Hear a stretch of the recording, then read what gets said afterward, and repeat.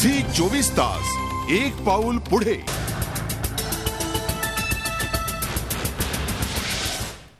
मराठवाड्यामध्ये काय परिस्थिती होती आपण जाणून घेतलं.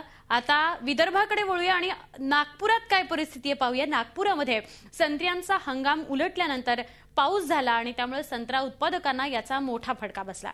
त्यामुळे संत्रा उत्पादक शेतकरी चांगलाच धास्तावलेला आहे. नागपुरात गेले काही दिवस पावसानं दमदार हजेरी लावली आहे. त्यामुळे बळीराजा सुखावला असला तरी नागपुरातले संत्रा उत्पादक मात्र चांगलेच धास्तावलेत. संत्र्याच्या पिकाला आवश्यकता होती तेव्हा पावसानं दडी मारली.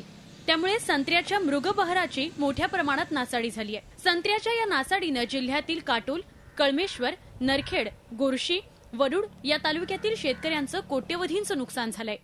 पाऊस आला पण उशिरा आला. पाऊस जर अगोदर आला असता तर हा मृग बहार जो आहे तो फुटला असता. सोयाबीनलाही फायदा झाला असता. पण आता जो फाय पाणी आला त्याच्यामुळं संत्रा मोसंबी याला जो मृग बार फुटतो तो मला वाटते का नाहीच्या बरोबरीत राहील. दहा पर्सेंटमध्ये फूट होईल. म्हणजे संत्रा मोसंबीचे फार मोठं नुकसान होणार आहे यावेळेस मृग बहारमुळं. उशिरा आलेल्या पावसाचा फटका धानाच्या पिकालाही बसलाय.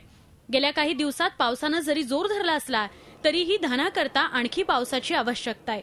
पावसाचा परिणाम संत्र्याच्या बागाच्या मृगबहारावरती होण्याचा जो भाग आहे तो संपलाय आता. काही मोजक्या ठिकाणी एक दोन चार टक्क्यामध्ये बहार येण्याची शक्यता आणि ती मोठ्या मुश्किलनी असेल काही जी जमीन वारांसर असेल किंवा निचऱ्याची असेल त्या ठिकाणी शक्यता आहे. परंतु आता बहार फुटण्याच्या बाबतीमधली प्रक्रिया क्वचितच होऊ शकतो. संत्र्याचा मृगबहाराची आता आशा करणं अत्यंत गैर आहे.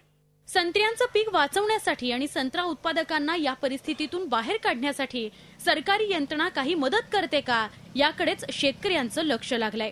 झी चोवीस ताससाठी नागपूरहून अखिलेश हळवेसह ब्युरो रिपोर्ट. झी चोवीस तास एक पाऊल पुढे.